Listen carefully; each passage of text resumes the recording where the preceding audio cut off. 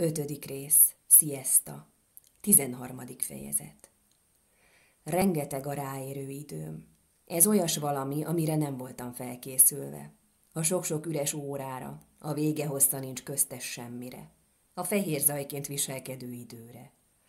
Ha legalább kézi munkázhatnék, szőnék, kötnék, csinálnék valamit a kezemmel. Jó lesne egy cigaretta. Emlékszem, amikor végig sétáltam régen a képtárak 19. századi részén. Milyen megszállottan foglalkoztatták őket a háremek. Tucatjával sorakoztak az olyan festmények, amelyeken turbános vagy bársonysapkás, dúsidomú háremhölgyek heverésztek díványokon. Pávatollal legyezgették őket, a háttérben egy őrködő eunukkal. Tanulmányok a renyhe húsról, olyan férfiaktól, akik sosem jártak ott.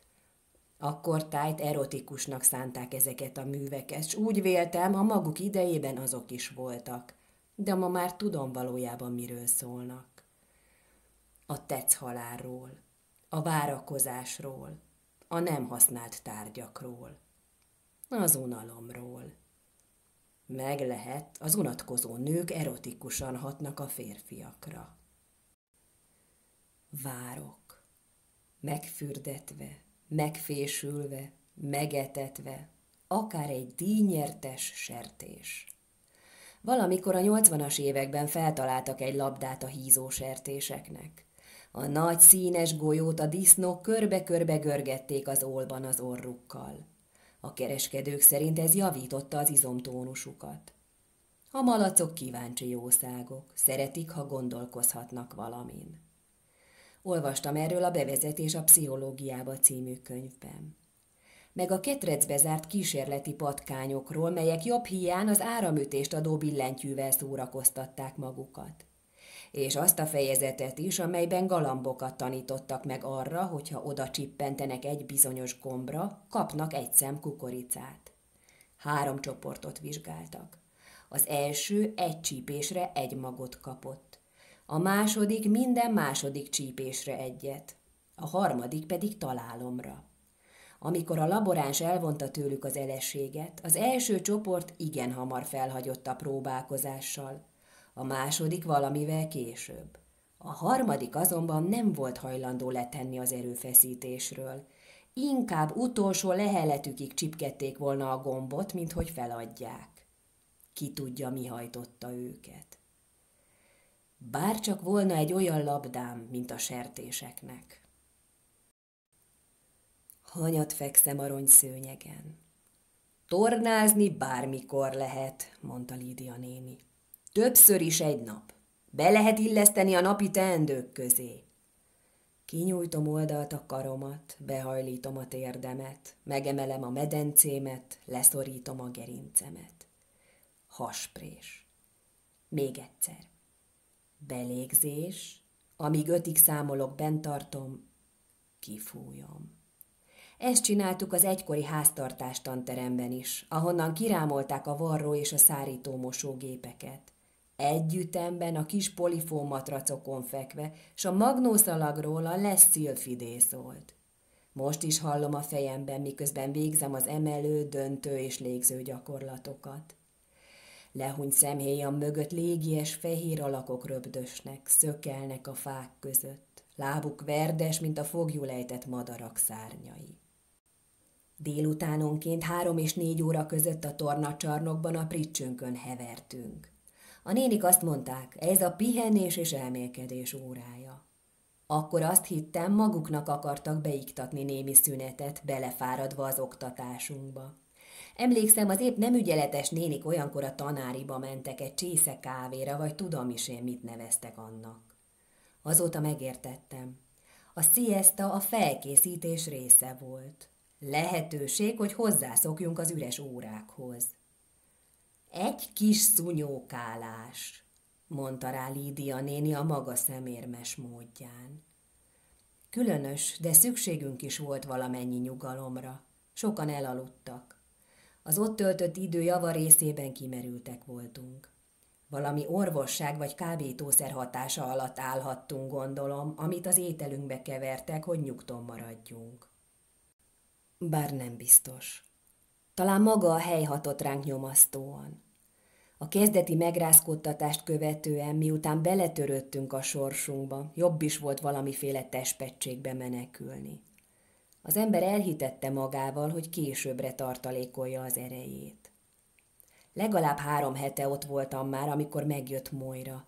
Két néni hozta be a tornaterembe, szokás szerint a délutáni pihenő alatt. Moira még a saját ruháját viselte, farmert és kék pulóvert. A haja rövid volt, dacolt a divattal, mint mindig, úgyhogy nyomban fölismertem. Ő is meglátott engem, de elfordult. Már tisztában volt vele, mi biztonságos. Bal arcán bíborba játszó horzsolás égtelenkedett. A nénik egy üres ágyhoz kísérték, melyen ki volt készítve a piros öltözet. Moira levetkőzött, majd csendben elkezdte felvenni a piros ruhadarabokat. A nénik az ágy végéből figyelték, mi többiek pedig résnyire nyitott szemmel a pricsekről. Moira hátán hajolgatás közben kiütköztek a csigolyacsontok.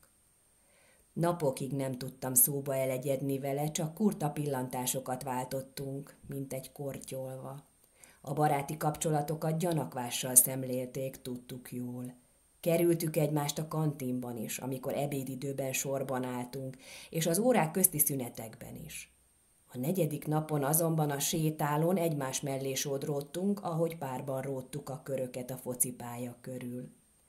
A fehér ellenzős főkötőt nem kellett viselnünk, amíg véget nem ért a kiképzésünk, csak a fájtlat, úgyhogy beszélgettünk. Pusztán arra kellett ügyelni, hogy halkan tegyük, és ne nézzünk egymásra. A nénik a pálya két végében sétálgattak, így az egyedüli veszélyt a többiek jelentették. Voltak köztünk hívők, akik esetleg följelenthettek volna minket. Ez kész, Tiliáz, súgta Moira. Úgy örülök, hogy látlak, súgtam vissza. Hol beszélhetünk? kérdezte Moira. A mosdóban, feleltem. Figyeld az órát. Fél háromkor az utolsó fülkénél. Mindössze ennyit beszélgettünk. Nagyobb biztonságban érzem magam most, hogy Moira is itt van.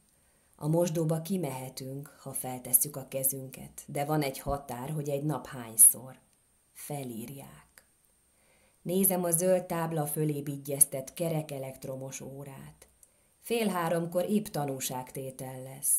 Emiatt van itt Helena néni és Lídia néni is, mert a tanúságtétel különleges alkalom.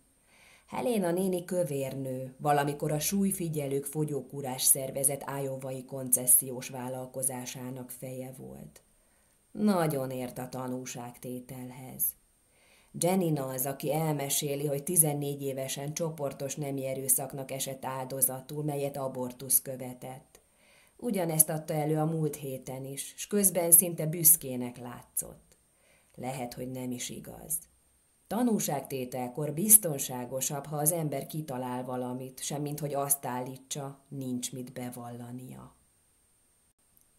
Persze, ha Jeninről van szó, többé-kevésbé igazat is beszélhetett. És kinek a hibája volt? teszi fel a kérdést Helena néni feltartva tömzsi ujját.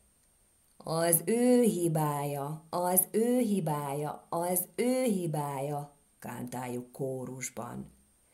Ki kacérkodott velük? sugárzik az elégedettségtől Helena néni. Ő, ő, ő. És miért engedte Isten, hogy ilyen szörnyűség történjen Jeninnel? Hogy megleckéztesse, hogy megleckéztesse, hogy megleckéztesse. Múlt héten Jenin elsírta magát. Helena néni letérdepeltette a csoport elé, hátratett kézzel, hogy jól lássuk vörös arcú, csöpögő orrú, fakószőkehajú társunkat, akinek olyannyira világos a szempillája, mintha nem is lenne. Mintha megégett volna a szeme, és a tűz leperzselte volna. Visszataszító látvány volt. Satnya rángatózó vörhenyes rózsaszín, akár egy most született egér. Egyikünk sem akart így kinézni soha. Egy pillanatig, jól lehet, tudtuk, mit tettek vele, gyűlöltük.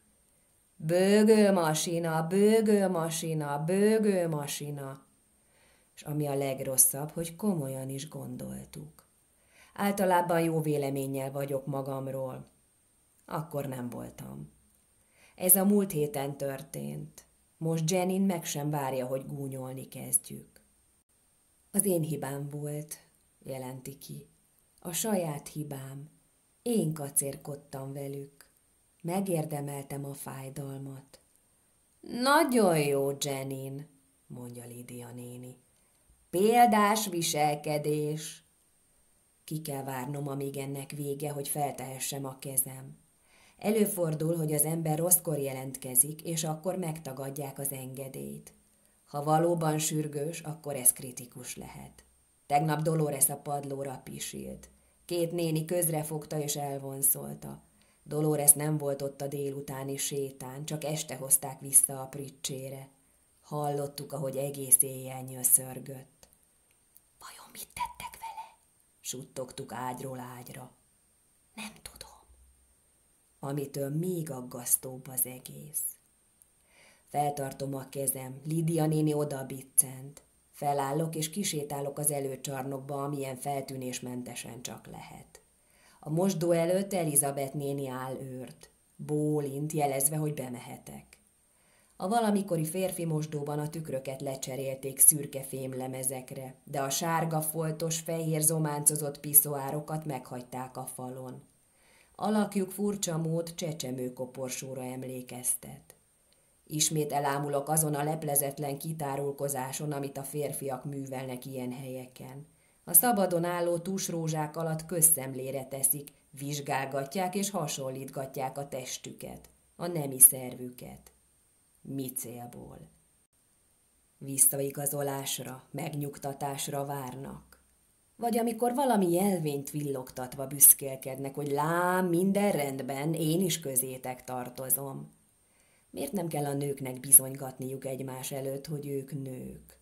Véletlenül kigombolódott blúzzal, hasítékos szexi bugyival, kutyamódra szimatolással. Az iskola régen épült, a WC fülkék oldalfalai még fából, vagyis valamiféle farost lemezből készültek.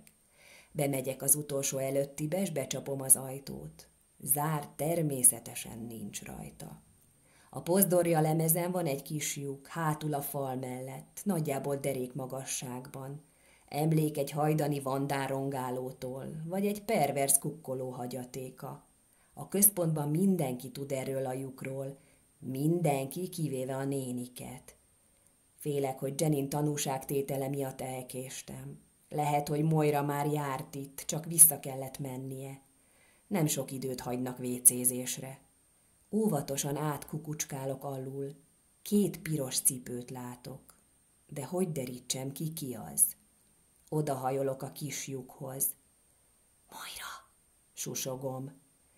Te vagy az? kérdez vissza. Igen, felelem megkönnyebbülve. Te jó ég, megveszek egy cigiért, mondja Moira. Én is. Nevetséges, de boldog vagyok. Belesüppedek a testembe, mint valami lábba, mocsárba, ahol csak én tudom a járást. Ingatag talaj, az én felségterületem. Én vagyok a föld is, amelyre a fülemet tapasztom, hogy halljam a jövő híreit. Minden nyilallás, a legapróbb fájdalom, a hullámzó anyag rezdülései, a szövetek duzzadása és apadása, a hús fecsegése, ezek mind jelek, olyasmik, amikről feltétlenül tudnom kell. Minden hónapban aggódva várom, megjön-e a vérzésem, mert ha igen, az maga a kudarc. Azt jelenti, ismét nem sikerült valóra váltanom oly sokak reményeit, s a mélyt sem. Régen, ha a testemre gondoltam, a gyönyör hangszerének, szállító eszköznek, vagy az akaratomat kifejező közegnek tartottam. Használhattam futásra, gomnyomogatásra, hol erre, hol arra, hogy elérjem, amit akarok. Voltak ugyan korlátok, ám a testem mozgékony volt, erős, önálló, és egy velem. Most a testem másképpen működik. Nem egyéb, mint egy körte alakú központi tárgy körül megszilárdult felhő. Az ott bent szívósabb és valóságosabb nálam, s vörösen izzik át tetsző burkában. Hatalmas, sötét, az éjszakai égbolthoz hasonló űrt rejt magában, mely vöröses-fekete inkább, mint fekete. Villodzó, szétpukkanó és kihúnyó szikrák kavarognak benne, megszámlálhatatlanul sok, akár a csillagok. Ám minden hónapban feltűnik egy bajós előjel, egy gigantikus holdkorong. Átvonul az égen, megáll, majd tovább halad, míg már nem látszik. Engem a kétségbeesésbe taszít. Megint az az üresség. Ismét. Hallgatom a szívverésem, a sós, piros vérfolyam hullámzó lüktetését, amely az idő múlását jelzi. Az első lakásunkban vagyok, a hálószobában. Állok a harmonika ajtós szekrény előtt. Tudom, hogy a lakás üres, sehol egy bútor. A padló csupasz, még szőnyeg sincs rajta. Ennek ellenére a szekrény tel is tele van ruhával. Azt hiszem az enyémek. Bár jobban megnézve mégsem. Ezeket sosem láttam. Talán Luke első feleségéi, akit szintén nem láttam, csak képeket róla.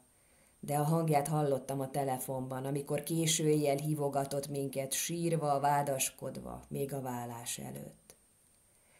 Ám mégis, ezek az én holmiaim. Keresek, valamit magamra kellene vennem. Szedegetem ki a ruhákat egymás után. Feketét, kéket, májva színűt, kosztümkabátokat, szoknyákat. Egyik sem jó, egyik sem megy rám, vagy túl nagy, vagy túl kicsi. Luke ott áll mögöttem, megfordulok, hogy lássam. Nem rám néz, hanem lefelé, a lábához törleszkedő és panaszosan nyávogó macskára. Enni kér, de honnan adjak neki egy ilyen üres lakásban? Luke, mondom, de ő nem felel, talán nem hallja. Lehet, hogy már nem él, merül föl bennem. Rohanok, szorítom a lányom kezét, vonszolom, ráncigálom magam után a páfrányoson át. Csak félig van magánál a tablettától, amit adtam neki, hogy ne sírjon, vagy kotyogjon ki valamit, ami elárulna minket. Azt sem tudja, hol van. A talaj egyenetlen, sziklás, érzem a korhadó ágak, a nyírkos föld és a rothadó avar illatát. A gyerek nem bírja az iramot, egyedül gyorsabban haladnék, jó futó vagyok. Végül a kicsi sírva fakad, meg van rémülve. Cipelném én, de már jó súlya van. Túrabakancs van a lábamon, s eszembe jut, hogy amikor a vízhez érünk, le kell vennem. Nem lesz túl hideg? A lányom vajon képes lesz olyan sokat úszni, ráadásul sodrásban?